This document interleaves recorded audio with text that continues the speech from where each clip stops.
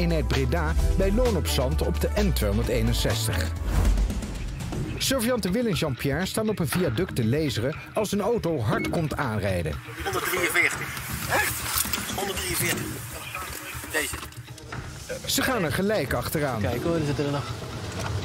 Nu naar rechts. Jean-Pierre moet behoorlijk doorgassen om in de buurt te komen. Kijken of we nog een kommetje uitlopen doen. Ja, dat is wel. Kom je uitloop. De meting wordt gestart. Uitloop heeft hij gehad. Daar nog steeds vrij baan.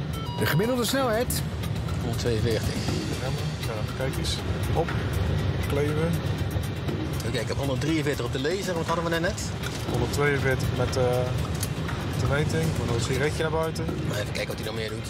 Eens kijken wat hij doet met de afstand. Kijk eens. En weer hè. Oh, ja, ja, ja. Weer ja, wegduwen. kleven. Zijn richting gebruikt hij goed. Ja. De rest is wat minder, maar de richting is goed.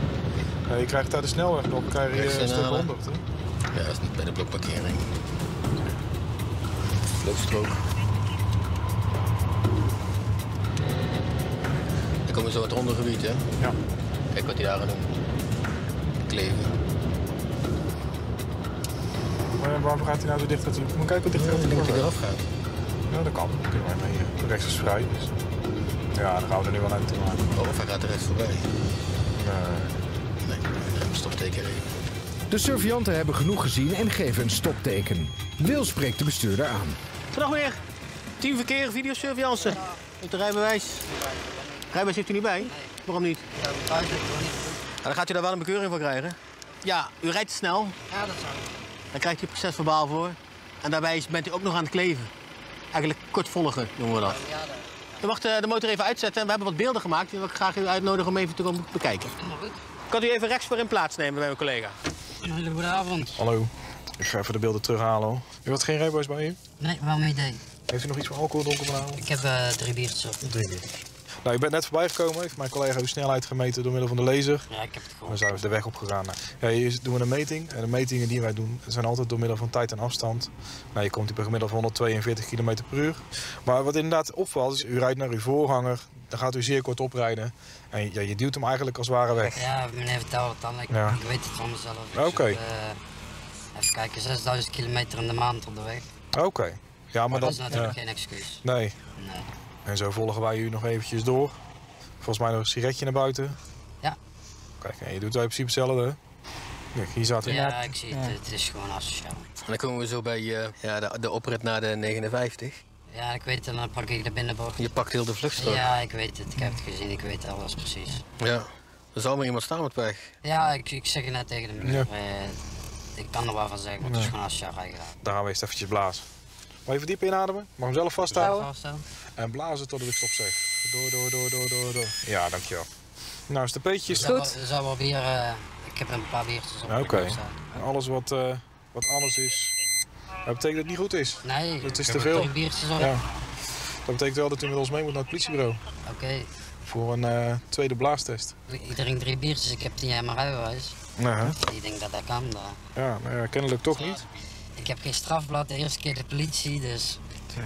Ja, rustig aan, hè. Ja, ik- Komt goed. De bestuurder wordt uit voorzorg gefouilleerd. Hier zit ook geld in?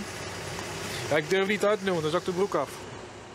Volgens de blaastest heeft deze man echt te veel gedronken en hij moet nu mee naar het politiebureau voor een tweede blaastest op het ademanalyseapparaat.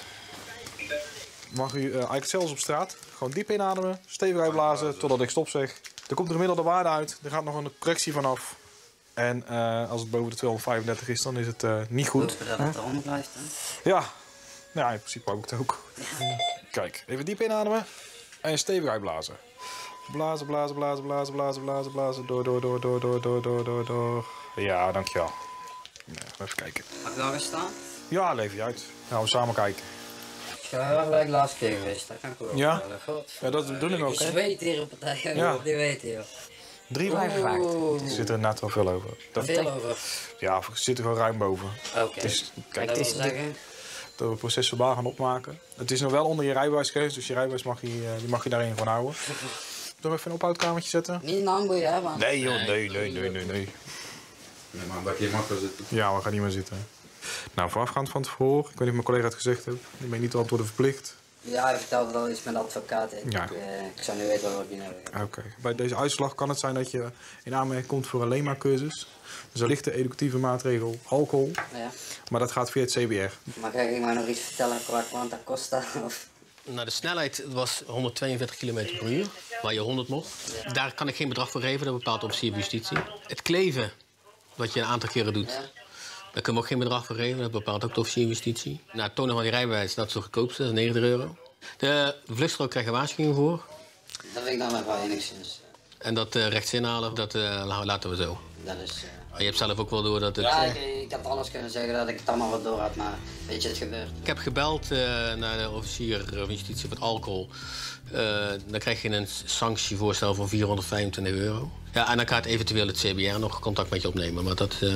dus eens even kijken, 5, 6, 7, 8. Ja, dat, dat komt wel in de, in, de, in de kosten. Ik ga alleen de printer toevoegen en draai ik hem uit. Ik kan een handtekening zetten. En dan, uh, mag u... Als je die niet zet, dan krijg je de boetes niet op.